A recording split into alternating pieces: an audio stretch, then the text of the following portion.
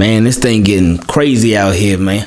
Y'all heard about Mascara getting released? It's like, man, he just he came down to Miami. Now he's gone already. Anyway, YouTube team, keep it clean. What's going on? It's Ingraven here with another video. Oh, quick update. Apparently, Deon Cain has not been released yet. Apparently, um, I just he's not gonna make the roster. He's not gonna make the roster.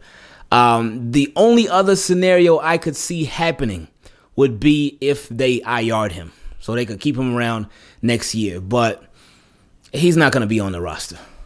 Uh, that after that last game, even before the last game, he had so much against him, especially with the injury. Once he got injured and he just came back, and then he comes into the game for the first time and he drops those two big passes. Yeah, that that that was it, man.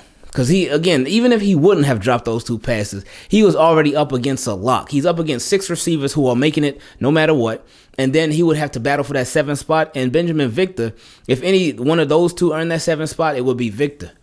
So he's up against a whole lot. And then with Miles Boykin, I don't know what's going to happen with Miles Boykin. But somebody who we do know what's going to happen with them or what happened with them is Nick Boyle. And Nick Boyle was activated off of the physically unable to perform list today. So let's talk about the Nick Boyle scenarios what it could be, what it might be, what it will be. Well, we don't know what it will be, but let's talk about the different options. So the PUP list, the physically unable to perform list, that's what he was on. Now, if he would have remained on that after the uh, the regular season roster is established, then he would have had to miss at least the first six games. No matter what, even if he would have been healthy, even if he would have been ready to go, he would have had to miss the first six games. So, this lets us know that the Ravens don't envision him missing six games, that he should be back sooner. So, now we got to wait and see what's really going to happen with him because we know he's going to be on the 53 man roster initially, but will they have him on the roster and have him take up that roster spot and just be ready to come back whenever? you have to think that the Ravens are going to probably have him make the roster and then place him on injury reserve. Now, if they do that, he has to miss three games minimum. He has to miss three games, uh, and he can come back week four.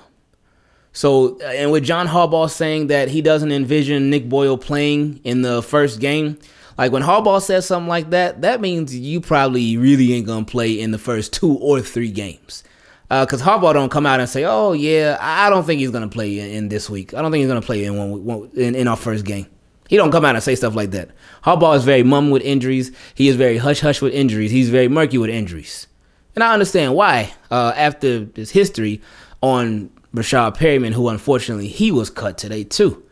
Um, but you got to think that they're gonna just, like I said, make it make the uh, make him make the uh, roster and then place him on injury reserve so he misses those first three games and then he can come back after that. And I, shout out to NFL because a lot of stuff they get wrong, but the, for the stuff that they get right, they get it really right. And the the newer injury reserve rule where they can come back and they, only got to miss three weeks.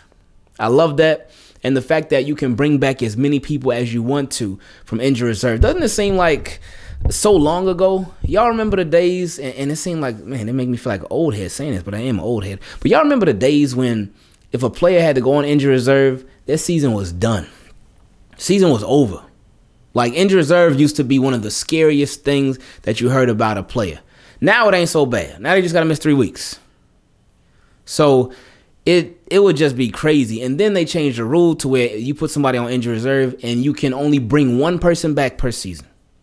Then they changed the rule to where injury reserve they got to miss at least eight weeks, and it's it's, it's gone through a lot. But I, I am happy where it's at now because teams will having to place guys on injury reserve who will be ready to come back in like four or five weeks, but their season will be over. So anyway, shout out to Nick Boyle. Um, again, they said he passed his physical. I wonder if he passed his physical like that. I wonder if he passed his physical so they could just start their little roster maneuvering and whatnot. But either way, hey, I ain't complaining.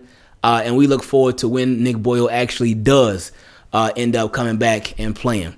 Whether it's in week two, whether it's in week four, whatever it is, we know that Nick Boyle, um, he certainly is a big part of what the Ravens do. He makes what they do even better because he has some underrated hands uh, and or underrated hands as a pass catcher. Certainly not underrated hands as a blocker though.